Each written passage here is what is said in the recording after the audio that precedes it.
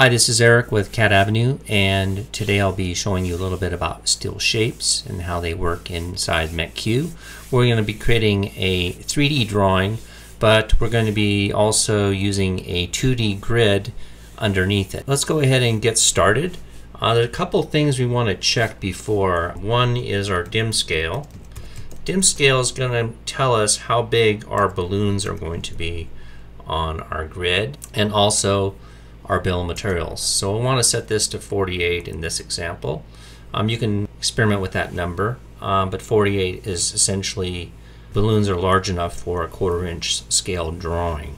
We have videos on that as well, how to use dim scale. Um, so check those out. And also we want to check our OSNAP settings. So make sure that we have endpoint, midpoint, and intersection turned on. So now that those are set, let's go ahead into our utilities pull down in Mech-Q and select grid generator. Now there's a couple ways you can get to this. I'm using the ribbon, so I'm selecting it from here. But you can also go into the Mech-Q pull down and select it inside the drawing utilities pull down here. If you don't have this top bar turned on, you can do so typing in menu bar and then setting it to 1 that turns on this top bar.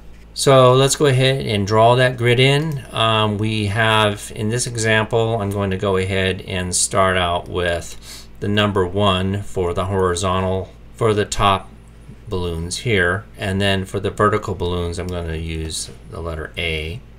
It's a 3 by 2 grid. I have 160 units in the Y direction and 120 in the X direction. So these are units, so keep that in mind. I'm working in uh, Imperial, so uh, these are divided by 12 to get your uh, feet in inches. I'm also using an extension distance of 50. Uh, that's this distance here. So let's go ahead and just draw that grid in.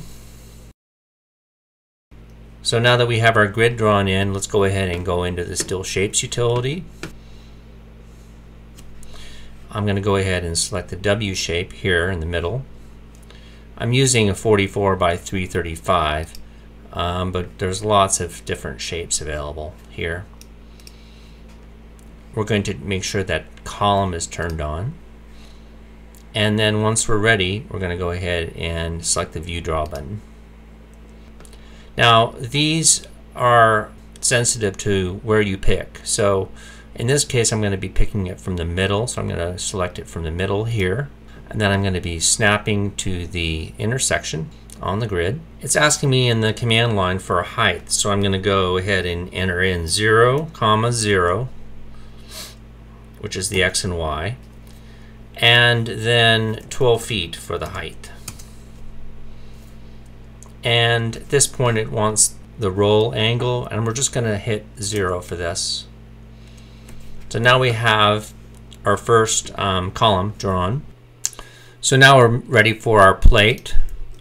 So let's go into the plates utility. Here I've already worked out the length and the width. And the way I did that is I drew a rectangle around the uh, column and then I used this to basically snap to the rectangle um, to get this distance. Alright, so let's select the plate from the, the exact center. And here we're going to make sure that 3D is turned on. I'm going to be selecting it from the midpoint, the center of the plate, and then selecting the intersection of my grid. And now we can view this in 3D. Let's go ahead and shade it. Now you can see the plate and the column together. Next I can select both the plate and the column. And then using my grid I can just copy it from here to here. Next I'll be drawing a steel beam using the S shapes. And again here we can select from the pull down. Draw 3D is turned on. This is going to get turned off. And then select View Draw. Let me go ahead and select this from the top. Now I'm going to select the midpoint this side to the midpoint of this side and that's going to give me my beam. Now I'm going to come back and I'm going to select this whole thing including the plate and I'm going to copy multiple from here to here and then to here. Now I'm going to do the same thing. I'm going to put some more S shapes in, again from the top. Let's go ahead and zoom down a little bit.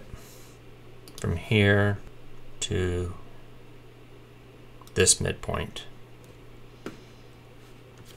Roll at zero degrees. Now let's go ahead and copy this from here to here.